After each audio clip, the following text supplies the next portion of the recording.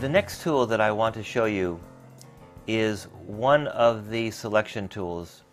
I left this at the end because a lot of people are afraid of it, they don't understand it, and the truth is it's really simple. But in the very beginning of this DVD, I mentioned there were four selection tools. We've already had the rectangular marquee, the lasso, and the magic wand tool. I've used those many times and now you understand how they work. The pen tool is the final selection tool and the reason that I use it is because it's very, very precise. It's the most precise way to make a selection. Now sometimes you can get away with just using the magic wand tool. So for example, if you have a blue sky and a white snowy landscape uh, at the bottom of the frame, it's so easy to grab just the blue sky because the contrast between the blue and the white is dramatic. But what do you do when you have a picture like this? This was a snowstorm in Zion National Park. This mountain here is called the Great White Throne. And it was a little bit misty. It was snowing and you've got a white sky against white snow. If you want to replace this sky, there's no way you can use the magic wand tool. The lasso tool you could use it, but it would take you a long time, and you're always having to make those. Uh, worry about how unsteady your hand is, and and uh, it's it's not as easy as one would want.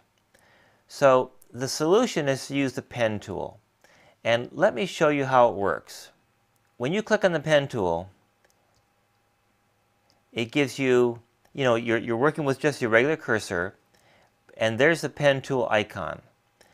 Um, I typically work at 300% because that gives me the ability to really see exactly what I'm doing. If you look here, look how close the sky is with the mountain. It's very, very close, especially, well, right here, there's like, there's virtually no demarcation at all. I can see a slight one with my eyes, but uh, Photoshop would not be able to distinguish that and that's why you just could not use the magic wand tool uh, on, on, any tolerance. So here's what I do. The pen tool, when you click it on your picture, it puts on a dot and you go all along the edge of your subject and you lay down a series of dots along, in this case, a demarcation between the sky and the mountain that's almost impossible to see, but you can see it ever so slightly. So I'm going all along the edge, and this will take a while. If your subject is simple, then it'll take a very short time. In fact, after I show you this picture, we're going to go back to one where I told you there was a problem and I'm going to fix it using the pen tool. And it'll take just a very, very short time. But in this case, because you've got trees, you've got rocks, and you want to go around them to be absolutely precise, because that way when you're done, your picture will look completely believable. The last thing you want is somebody to look at your picture and say, oh, that, that's a fake sky. Now, if you make a mistake, let's say you go out here, and then you go out there, and, the, and then you go out there, you get off course, it's very easy to correct it because what you do is you go back to your pen tool, and if you click it, there's a bunch of other tools under here, and all you have to do is go pen minus. It says delete anchor point. You choose that, then you touch the points you want to delete like that, and they're gone. Then you go back to the, the pen tool, and you have to click the last point that you lay down, just click it, and now you can continue. That's how you can fix mistakes.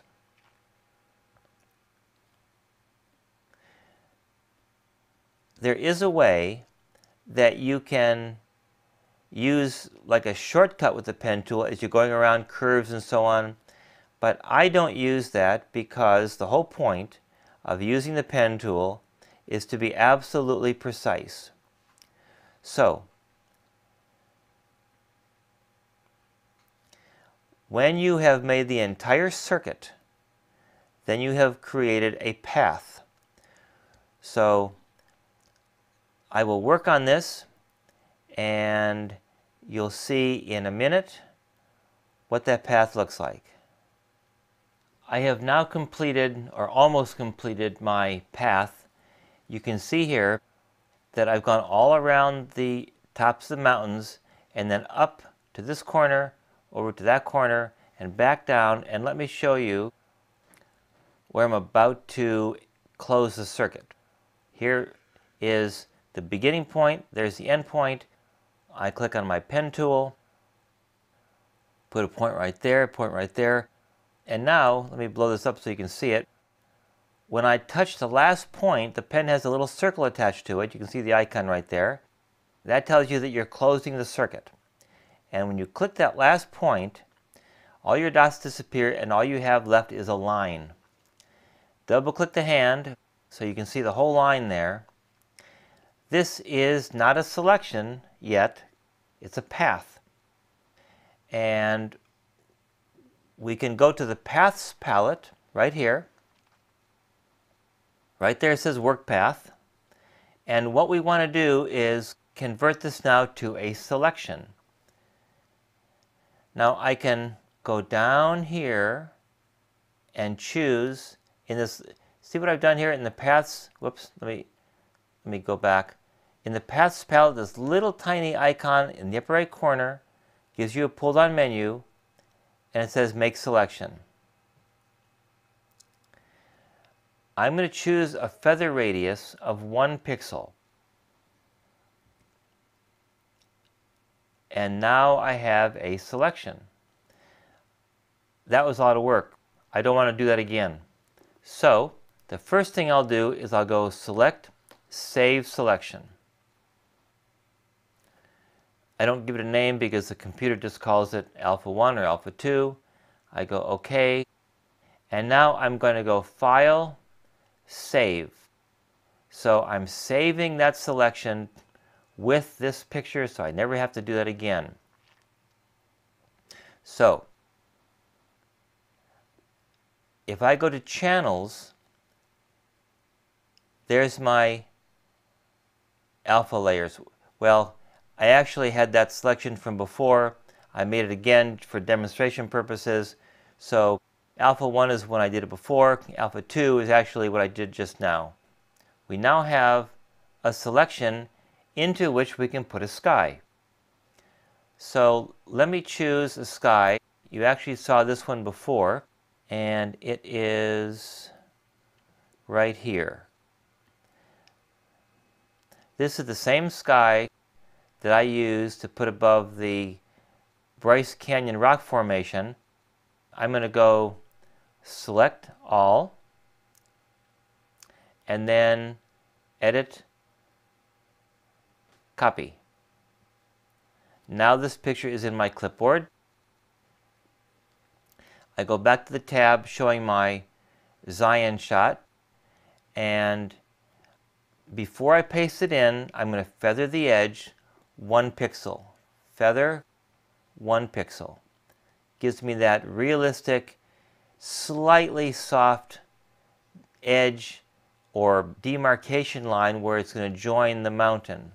So now I go edit, paste into, and we now have a sky there. So I'm going to click on the move tool and move this up a little bit, get some more definition in that sky. Now, to be honest, this doesn't look quite right yet because the mountain is so light, it's sort of a hazy day. I didn't have this kind of contrast. So going into my image adjustments levels dialog box, shortcut Command or Control L, I can lighten this. I'm going to lighten the midtones, not the highlights because I don't want I don't want to lose detail here. The middle slider is for the midtones. I'm going to lighten that up a little bit so it looks realistic. In a day like this, you'd have a very light sky, maybe even lighter than that. Okay, now I'll click OK. Now let me turn this off and on. There's the original. And there's the lightened gray clouds that I dropped in. Now, if you look at this, this looks a little bit lighter. That's a little bit darker. That might look better flipped because the light area of the sky might look better against this white mountain. Let's try. Edit, transform is where you, where you uh, manipulate all your layers. So we want to go flip horizontal. What do you think? Let's see. I think that looks good, just like that. Of course, if I wanted to lighten this demarcation line here, I could. I could very easily take the burn tool. Uh, I'm, I'm sorry, I'll take the dodge tool. Uh, burn darkens and dodge lightens. And I could, um, let's make that a little smaller with my bracket key. Exposure is 50%. Let's go 34%. And let's just lighten that slightly along that edge there. There. Now the demarcation line is close like it originally was, but we still have some nice definition in the sky. I think that looks much better. Look at, there's just a white sky, and now there's a very light gray cloudy sky. I think that's perfect. Uh, I'm going to leave this layer here because I might go back and tweak that, maybe make it a little lighter, maybe do, maybe put another sky in there. So I'm going to leave that layer and I'll just go File, Save As. We'll call this Zion. Desktop, I'm going to retain my alpha channels and layers and just go Save.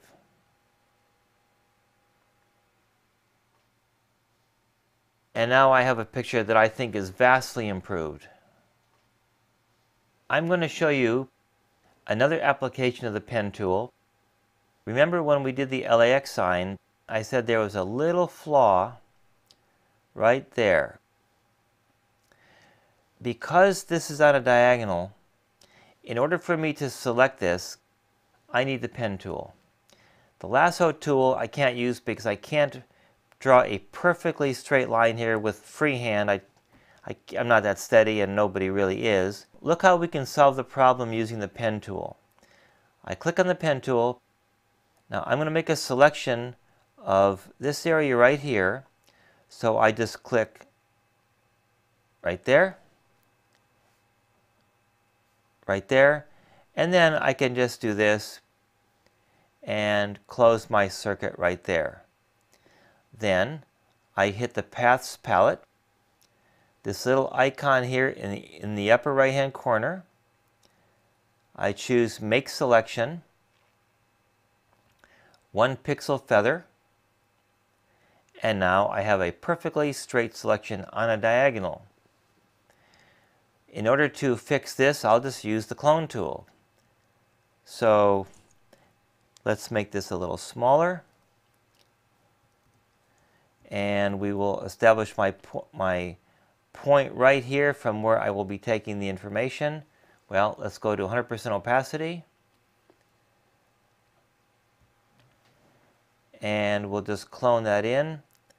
Now it's not giving me the exact same tone unless I'm really careful. So let's try the healing brush a little bit to give me a little blend. There, look at that. If I deselect, well, let me look at this closely. Okay, look. The reason why that, that edge is soft is because I did a one pixel feather. And it looks like I shouldn't have. It looks like I should have done no feather because this is really sharp. So I'll bring back my selection by going Command or Control Z. And this is what I'm going to do. I talked about having a selection and then expanding it. You can also have a selection and contract it. So let's go to Select, Modify. Remember, here's where Expand was. We can contract it. I'm going to contract it one pixel. And I'm not going to feather it at all. So now, okay, right now I have this area selected. I think I want the background selected. I'm going to go select inverse. Let's see if that solves the problem. I'm going to hide the edges, view extras. See, this is a good example of where you have to do some trial and error sometimes to solve a problem. I'm not exactly sure what's going to happen or what's going to solve this problem, but we'll get there. So, clone tool, I've got the background selected now, not the letter A, or the, yeah, LAX, the letter A. Let's clone that. Well, not quite. So let's undo that. Let's see, what could we do here?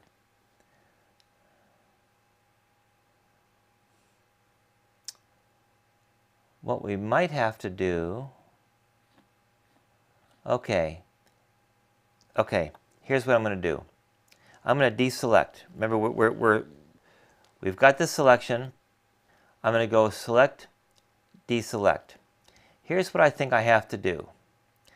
I'm going to take the lasso tool and I'm going to select this edge up here. Just freehand.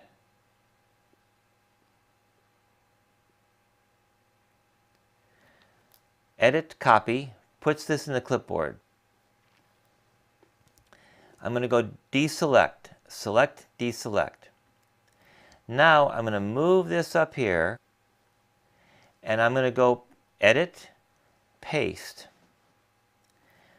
On the move tool, I can now move this in place.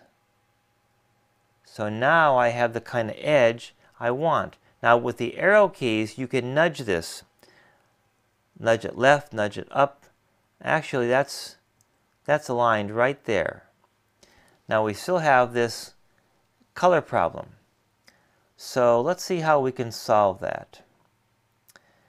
Um, first I'm going to go flatten and then I'm going to choose the clone tool and I'm going to take a sample right next to there and see if I can clone the darker gray into this lighter gray.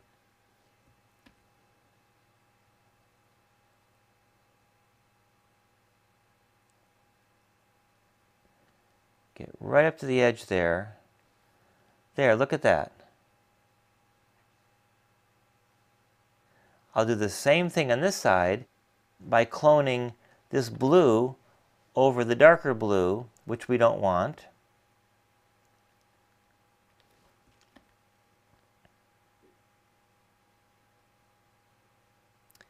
And now the problem is fixed. Let's maybe go a little closer here with the gray. Okay, now remember we're at 300%. If we go back down, you'll never see any kind of a problem there.